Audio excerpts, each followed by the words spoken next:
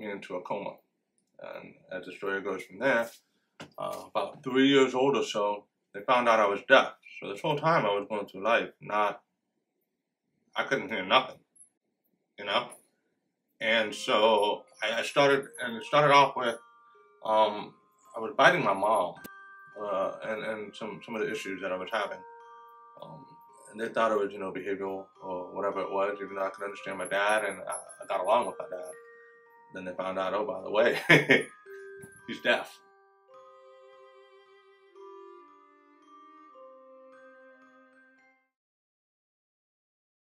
Hi, my name's Henry Mims. I'm 44 years old. born in Pensacola, Florida. I kind of moved back and forth between Pensacola and Miami um, for a long time, uh, going into 18 years. And uh, but as it started off in Pensacola, Florida, uh, 1978, I was born. Um, about eight months later, I got meningitis, and uh, as a result, I became deaf. So up until that point, I guess I, I, I heard everything just fine. Um, on that night, though, I was really sick. They took me to the hospital, and uh, when they took me to the hospital, you know, everybody thought, well, you know, it's just a flu. They didn't know that there was this meningitis thing going around, um, or how severe it was, anyways. And so, okay, and then they took me back home, and by the time I got back home, I'd already gone up to 104, 105, I think almost maybe 106, don't quote me, but um, took me back to the hospital. When they took me back to the hospital, they didn't want to admit me. And unfortunately, you know, family friends had to come in and, and kind of make things right. Lo and behold, I had meningitis and it was killing me. So they put me into a coma. And as the story goes from there, uh, about three years old or so, they found out I was deaf. So this whole time I was going through life, not, I couldn't hear nothing, you know? And so I, I started, and it started off with, um, I was biting my mom, uh, and, and some, some of the issues that I was having. Um, and they thought it was, you know, behavioral or whatever it was, even though I could understand my dad and I, I got along with my dad. Then they found out, oh, by the way, he's deaf. So, you know, as parents, you know, what do you do with that? And I can't remember that time period, but I can imagine how hard it was for them because now how do you deal with the child? I shouldn't say deal, but how do you um, um, get on with the child who, number one, can't understand you, number two, you can't understand them. So, but luckily, I, uh, my parents were, were awesome parents, like awesome.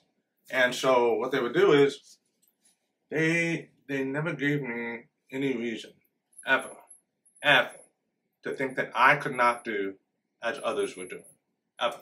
I could, and and I and and, and you gotta understand when I was younger, I didn't talk like I do now, and now nobody can tell where I come from, where I came from. People think I'm from England. Some people think I'm South America. Some people New York, Boston. They they try to pinpoint where I'm from, and I and I'll explain that in a minute. But I would be, I don't know, no more. Because, I mean, you, got to try to figure out how the sound sounds.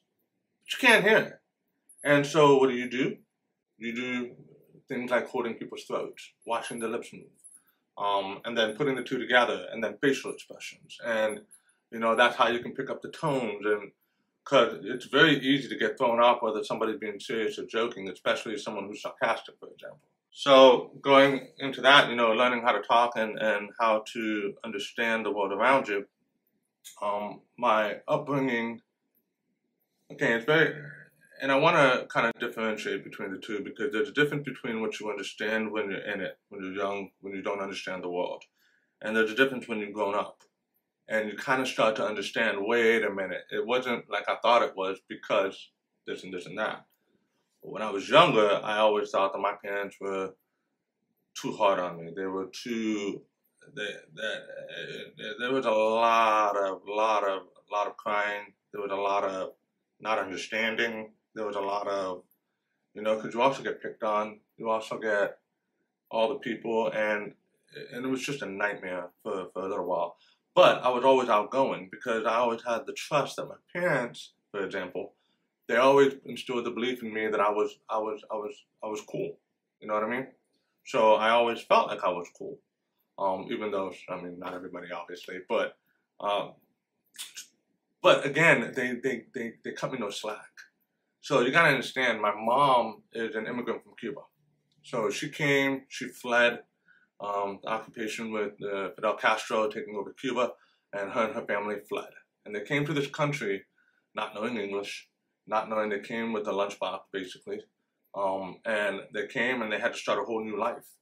And they had to hit the ground running because that, that's what else are you going to do? You're just going to float? No. So they hit the ground running. They had to learn a language while trying to learn a country, while trying to learn how to how to just get on with life here in this country.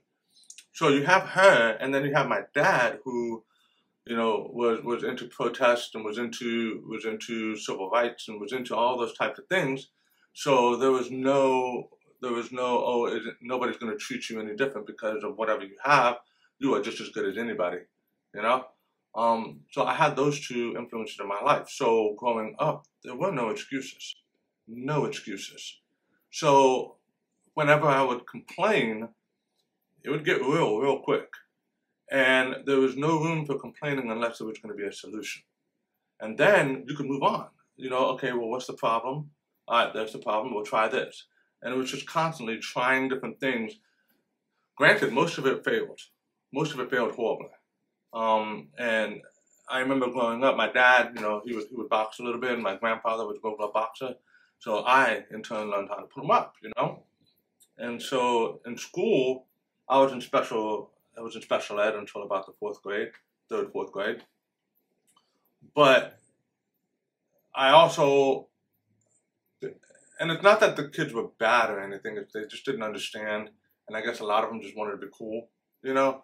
Um, and I hold I hold no no ill feelings towards them, uh, any of them. But they they would do things like once they found out that I could fight, then they stopped coming from the front. They started coming from behind, and it got much harder. And but uh, and you just dealt with it, and then just moved on, and just kept going, going, going. Eventually, it kind of started to taper off.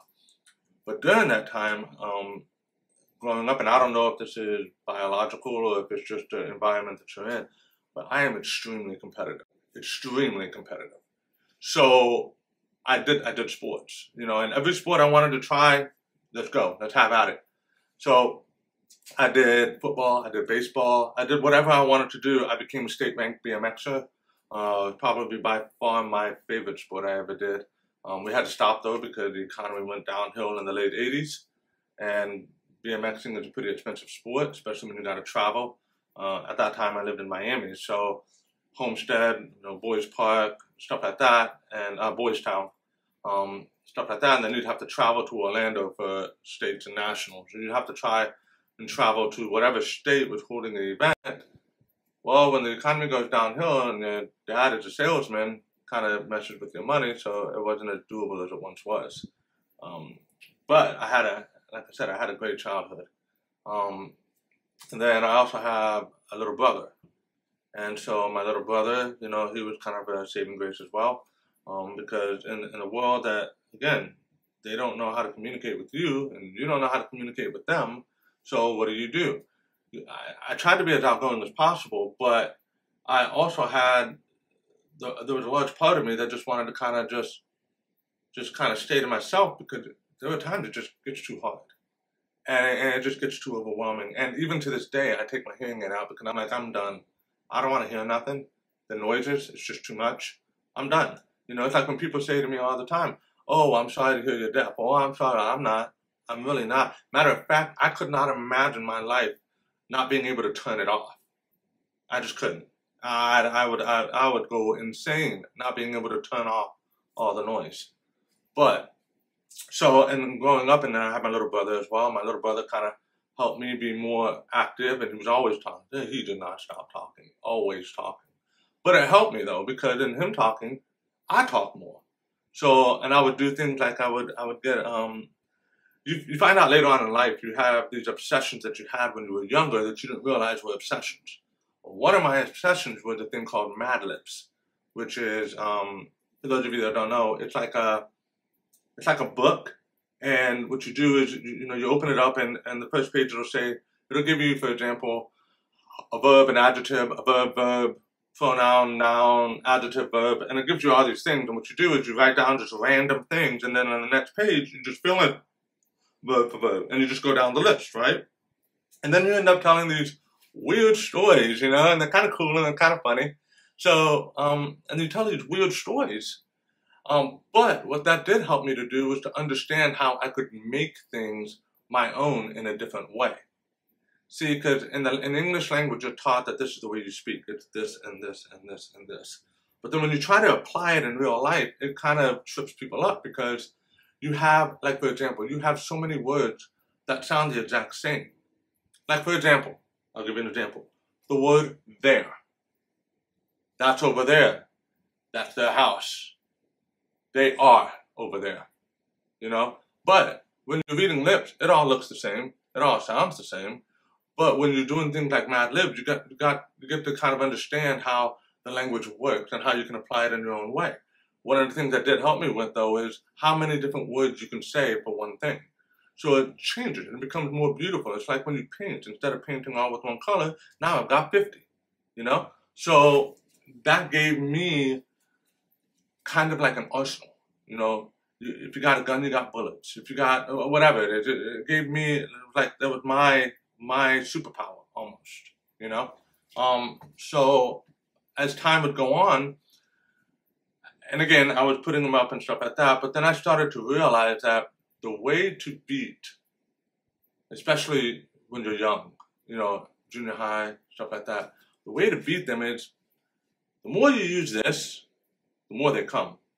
And the bigger and badder and stronger they are because now they want to make a name for themselves. Oh, this guy beat my friend over here, but let's see if he can take me. And then you end up getting, you're facing this guy, and then there's this guy behind you, and it just, it just gets into this big mess.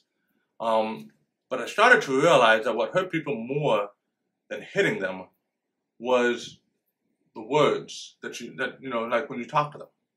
And so what started happening was I started becoming quick and witty. And, and, and, oh, you want to, you want to exchange words? Now you're in my domain. Now keep in mind, I've been doing this for so long, quiet.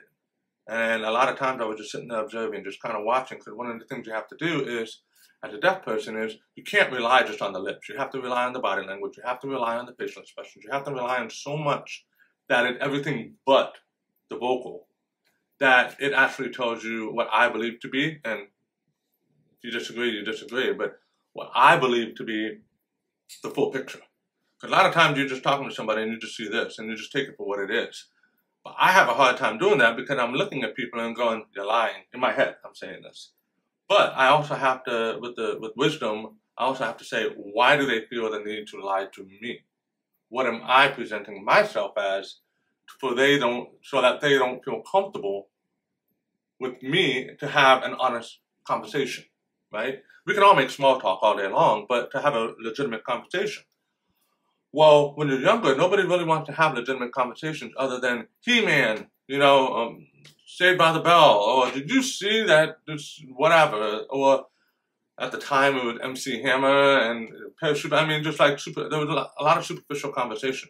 I mean, when you're that old, how many deep conversations can you have except for, which kind of a funny story, but which is kind of what led me to, to find and hang with all the crazies and the bums. Those are my people. And they always happen. And they aren't, they aren't like, they don't try to hide. They don't try to, even people that are perceived as crazy, they're telling you the truth. 100%. And it might not be your truth. And you might look around and go, no, the walls are yellow, the walls are black, the walls are pink, and you're sitting here telling me the walls are blue. You're wrong. Well, are they? And after a while, you start to kind of think, well, what do they see? Maybe they see the walls and it's really blue. But to go along with the conversations on that, so I hung out with all the crazies and all the bums. And those were my people. It was kind of like, just like, like what are they called? In the 70s, they had that, uh, the circus, Merry Hipsters, I think they were called. Um, those are my people. So growing up, and, and so these people would, and a lot of the kids, they would try to kind of find out where they fit in this hierarchy. And the only way I guess a lot of kids think that they can do this is they have to put other people down in order for them to step up. And then they would face me. And when it came to words, it was not going to happen. And a lot of times A lot of the people that wanted to run their mouth knew what I could do, and it was kind of like it stopped right there. But then that kind of started causing a problem going into my later junior high years, and that was that people started to think I was a punk. And I was just out, just had a chip on my shoulder, like whatever. Forget the fact that I was having to deal with this on a constant basis, a daily basis, and it starts to it starts to weigh heavy on you. So the anger started to come a little bit, and it was, and maybe I was a punk. I don't know. I always thought I was a really nice guy, and anybody that I knew from that day would always tell me about how nice and sweet I was. But they didn't know that in my head, it was kind of like, all right, I'm just waiting. I am just waiting. I wish somebody would, as people would say now. And so that kind of went on again. And uh, so we were living in Pensacola at that time. Because, um, again, everything went downhill with the economy in the late 80s. We moved to Pensacola, tried to get a, a, better footing um, it was a lot cheaper than living in Miami, and my dad could get a job, so he did. Uh, always looking for stuff. My mom worked in the university system when she was in Miami. She transferred to one when we lived in Pensacola. So time going on, and you know, um, my and then I started to experience my first going into late junior high school. Started to experience my first times being around other kids whose parents were going into divorce or drug addiction or things like that. Because I never really experienced it. You always see it on the TV, you know, the crack epidemic, and then you had the AIDS going around. And I had a friend of mine when I lived in Miami, um, he got a blood transfusion. And as a result of the blood transfusion, he got AIDS. Like seven years old. Like, how is a seven year old going to get AIDS? Like, seriously. So, and those types of things, those little seeds started to just kind of I started to realize at a young age the world wasn't what I saw it, like like almost like a face value kind of thing. So but so time goes on, so I'm going in and I'm also starting to see, you know, addiction. Um, uh, one of my friends, she her stepfather, I always felt was a little too comfortable, and then lo and behold, later on, um, yeah, was real comfortable. Um, but just those types of things, and it, it just I had to I had to kind of deal with myself as a young kid, trying to figure out because again, I it's not the words, it's what I see. And what I see is telling me a story that's different than what you're saying. It causes this disconnect. And it's either do I trust myself or do I trust you? And I'm looking around, and with the exception of my family, I'm not really finding a lot of reasons to trust people. Um, just because, just what I see. So going into that, and it, it was it was, was eye opening for sure. And then I go into junior, and then I go into high school. So my family moved, and things were rough. Keep in mind, my mom from Cuba, my dad a Southern man, um, civil rights, the whole deal. And then he, we moved into a neighborhood that was the projects, and I I when I moved into the projects, I just went as just like, hey, I'm so and so. You want to be my friend? You know, and a lot of them were cool. And they were like, yeah, yeah, we'll be friends. You know, we play basketball, football, the whole deal. But part of that was also seeing the things that you hear about on TV, but when you see it in person, when you're in it, whole different ballgame. So then I was hit with another obstacle and it was a, it was a, it was unintended. It was an unintended, not a consequence, but it was unintended obstacle. So I'm now living in the projects, and I'm going to a high school that is known as a redneck school. So I'm I'm living in the project with a bunch of bunch of black people. I'm super cool with everybody, and I'm going to this redneck school. That's not cool with them. So, but you look at me, you see me as white you don't know my family's story. And so here I am, you know, almost all my friends going into high school because we moved in the summer before my freshman year. So all the friends that I made up until that point on the other part of the city, by the way. So it was completely new. I knew one, when I started high school, I knew one person. One person that was not from the neighborhood that I was living in. One person. And they happened to stay there only for a year. But anyways, so I get to school and every name you could think of, and I would get so mad. I would get like because to me it didn't matter. And my dad would always tell me that, that the color of a man don't matter because we all believe the same, and it's true. And so, and I, and I could not understand well, I, I'd seen it, but now I'm in it, and I'm thinking, wait a minute. So then came another problem. So while I was living in the neighborhood, um, and keep in mind when I joined uh, high school, the reason why we moved to, to that redneck school was because um, I wanted to wrestle. So there was the only school in the area that offered wrestling, so we went there. So I'm, I'm trying to make friends with them. Uh, most of them were cool as well. But then I started running into a problem because I was becoming friends with people that had already had histories. I didn't have any history with anybody at that school. So I was becoming friends with people that had histories with people that I was living in the neighborhood with. And I didn't know this, and nobody wanted to speak on it. So then I started having a problem with the people in my neighborhood, and now I'm having a problem with the people at my school. And no matter where I go, there's a problem. So it started going back to this, which I didn't, I really didn't want it to. But but it was always, you know, everything from, and, and I'm not going to go into detail, but all the slangs and all the derogatory terms you can think of, I was called all of them uh, from white people, black people, Spanish people. It didn't matter what walk of life. It was all me.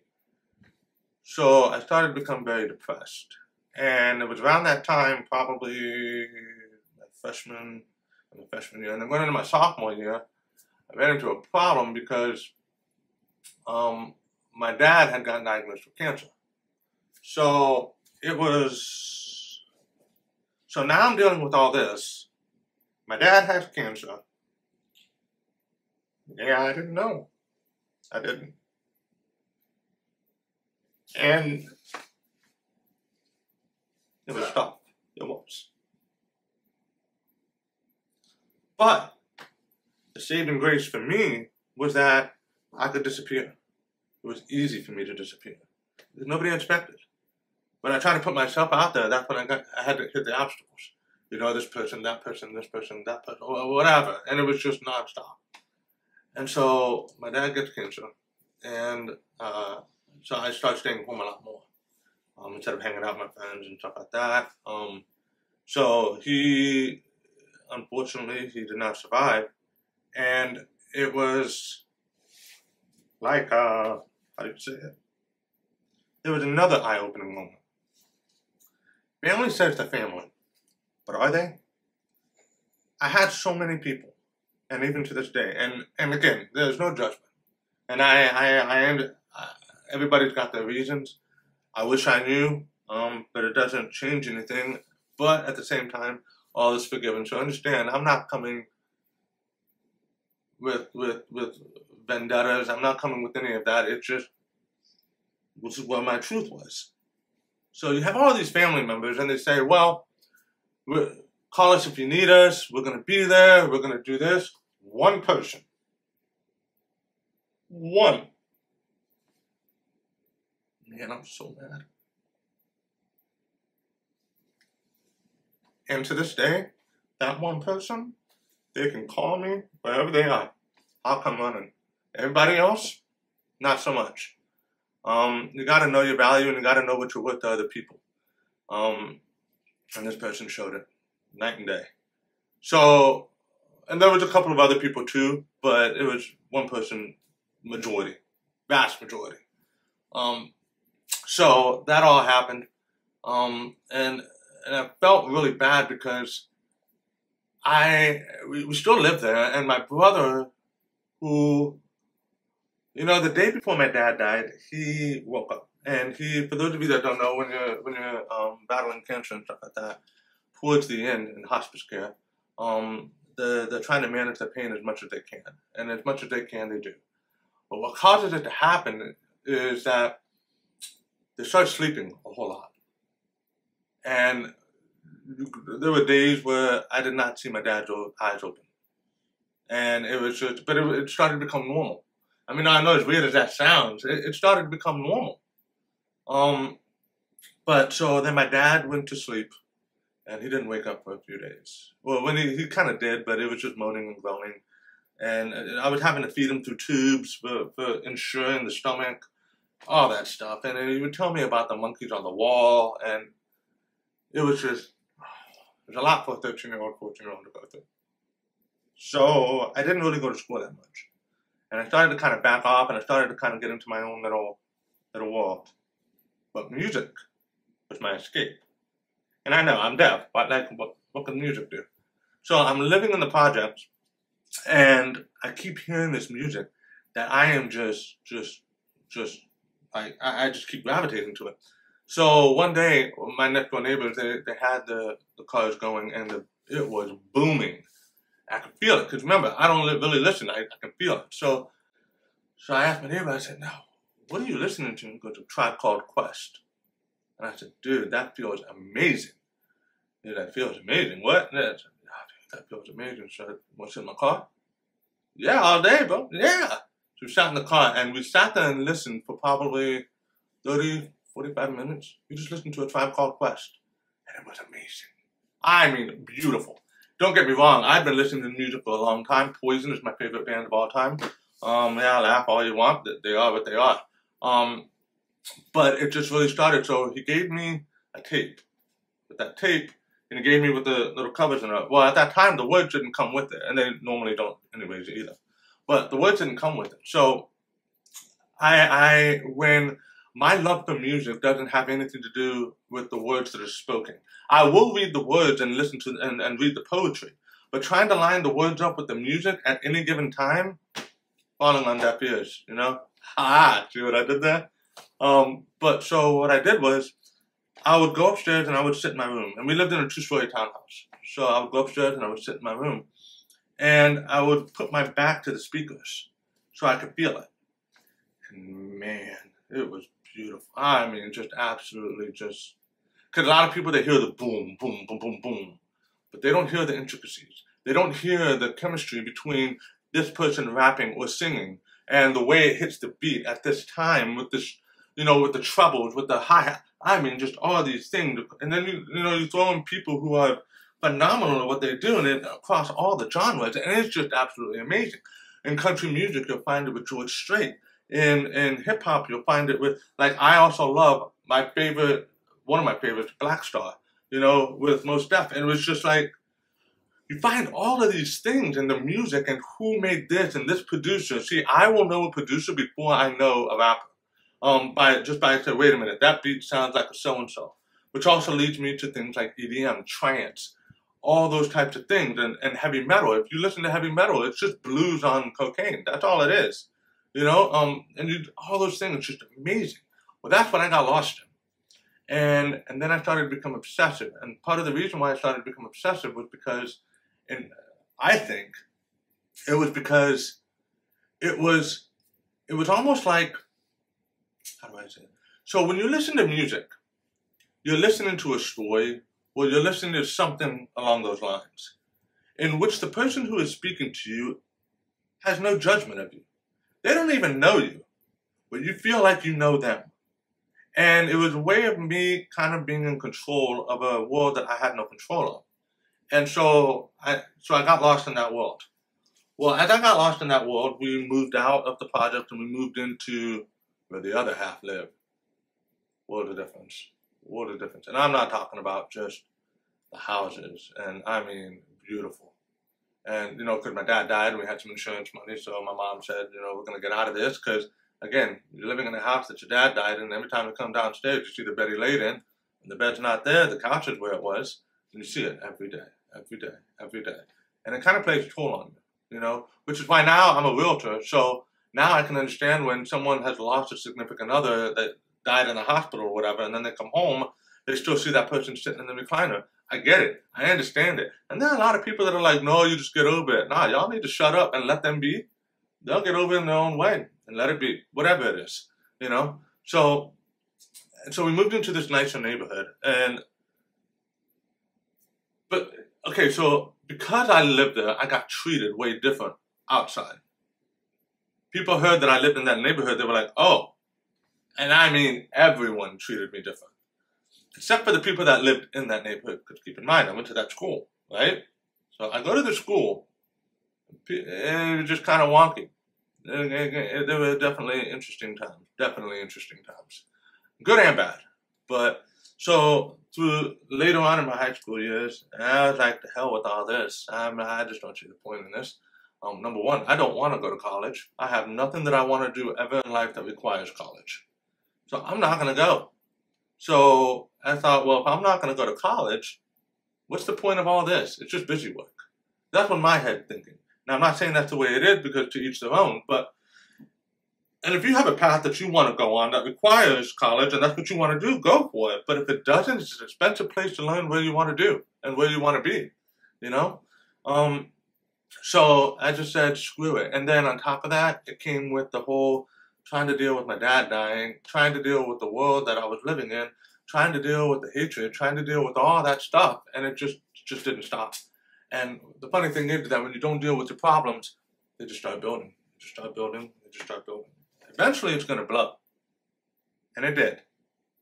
But before it blew, so I'm in high school and finishing it out, um, I actually got expelled